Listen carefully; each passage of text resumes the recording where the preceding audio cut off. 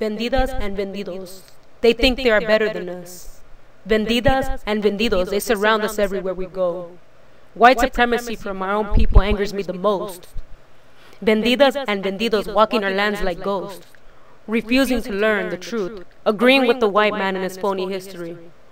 Open your eyes, damn it, this is stolen land. In 1492 the devils came. In 1492 they came to invade, forcing us to assimilate, killing our beautiful brownness, robbing us of our land, tongues, and names, which still continues today. You see, Vendida and Vendido, your ancestors were terrorized, your ancestors were burned, your ancestors were raped, and you still choose to believe the lies?